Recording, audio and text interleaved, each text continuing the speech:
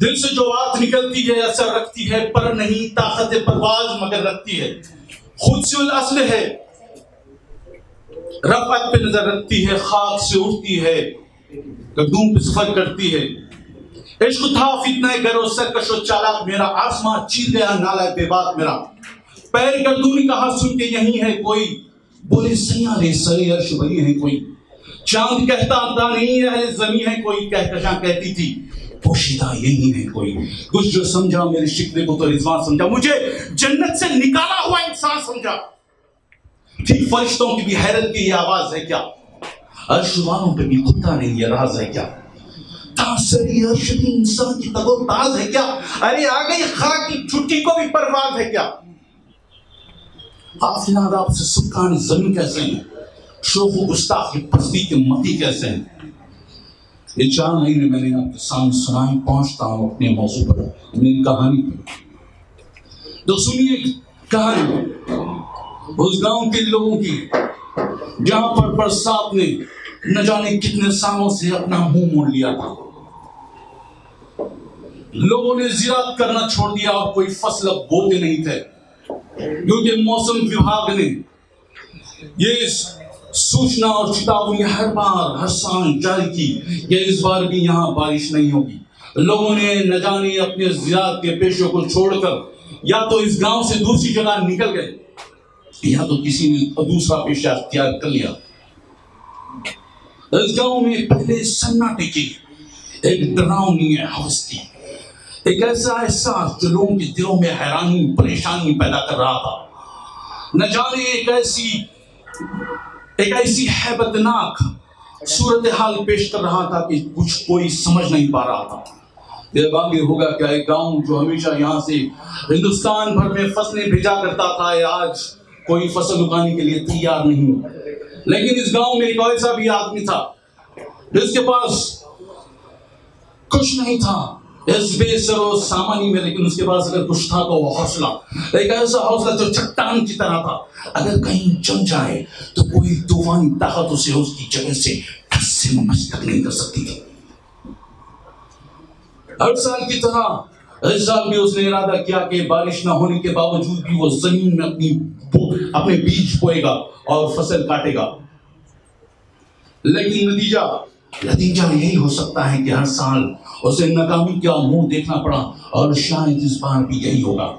لوگوں نے اسے بہت سمجھا لیکن اس کے سامنے، اس کے سامنے حوصلے اتنے بلند تھے کہ وہ کسی کی چتاونی اور کسی کے ڈر سے ڈرتا نہیں تھا۔ لیکن اس کے معصوم بچے، اس کے قریب آئے اور کہنے لگے، بابا، اگر آپ بھی اس سال اپنی پوری جمع پونجی بیجوں پر لگا دیں گے تو پھر ہماری، ہمیں اس بار بجائے دو کھانے کے دن میں ایک ہی بار کھانا پڑے گا۔ پڑھائی ہم کو بند کرنی پڑے گی۔ اس کی بیوی اس رسا کشی میں بیچاری بے مجبور تھی۔ نہ بچوں کی طرف کا حق لے سکتی تھی اور نہ پتی کی۔ لیکن پتی تھا، لیکن وہ کسان تھا، اپنے فیصلے پر نکل تھا۔ اس نے آسمان کی طرف دیکھا جو بالکل صاف تھا۔ اس نے اپنا کام شروع کر دیا، زمین کو جوتا اور بیج زمین میں ڈال دی جب یہ کام کرتا تھا تو دوسرے گاؤں کے لوگ اس کے قریب آتے اور ہنستے اور اس کا مذاق اڑاتے، کہتے کہ ایسے موسم میں تم بیج بو رہے ہو جہاں بارش کی بوند کا پڑنا بھی ناممکن ہے۔ یہ کس نے تمہیں کہہ دیا؟ کہ ایسے ماحول میں بھی تم فصل اگا سکتے ہو۔ دیکھیے ذرا اس حوصلے کو۔ اتنے طنز کا سامنا کرنے کے باوجود بھی ایسی کون سی طاقت تھی؟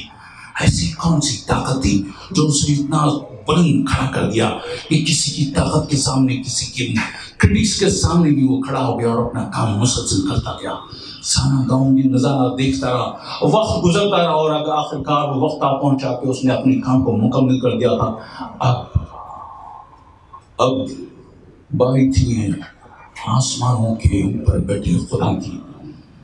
اس نے آسمان کی طرف دیکھا، اس کے بچے اس کے قریب ہو گئے اور پیاسی نگاہوں سے اسے تک کر گھورنے لگی کہ بابا، آپ نے اتنی محنت لگا دی۔ اگر آپ کی بارش نہ ہوگی تو ہماری زندگی کی امیدیں معہوم ہو جائیں گی۔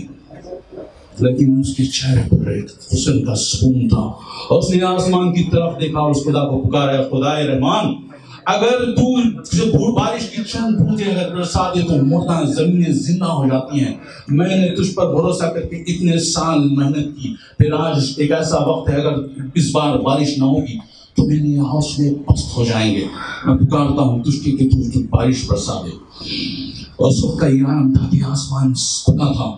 دور دور تک بارش کے امکان نہیں تھے۔ لیکن اچانک ایک بادل کا ٹکڑا کس کسی طریقے سے گاؤں پر آ پہنچا۔ لوگوں نے آسمان کی طرف دیکھا تو ایک بادل آ, آ چکا تھا اور مہنگی بن گئی تھی۔ لوگوں پر لوگوں کے چہروں پر مسکراہٹیں واپس آنے والی تھی کہ وہ بادل کا ٹکڑا وہاں سے نکل گیا۔ لیکن شاید اس کی جاتی جاتی کہانی یہ بات کہہ کر گیا یا میرے پیچھے بادلوں کا جھن آنے والا ہے اور ایک ایسی زبردست برسات ہونے والی ہے جو سارے سالوں کی کسر پوری کر دی اور دیکھتے دیکھتے اس کے پیچھے اتنے بادل آتے گئے اور سارا گاؤں بادل سے گر گیا۔ ایسی زبردست بارش ہوئی کہ سوکھے ندی تالاب بن گئے۔ لوگوں نے اس بارش کے بعد اس آدمی کے پاس قریب آئے اور کہنے لگے، دوست تمہارے حوصلے کو ہم سلام کرتے ہیں۔ جہاں امید بھی نہیں تھی، جہاں کوئی توقع بھی نہیں تھی، جہاں سب لوگوں نے یہ کہہ دیا کہ بارش نہیں ہوگی، لیکن ایسی کون سی طاقت تمہارے اندر ہے دوست کہ اس کھلے، اس خشک میں بھی تم نے اپنے آپ کو چٹان کی طرح کھڑا کر دیا۔ ہم تمہارے حوصلوں کو نہ سلام کرتے ہیں، بلکہ ہم تم سے سبق بھی لیتے ہیں۔ کہانی ختم ہوتی شکریہ۔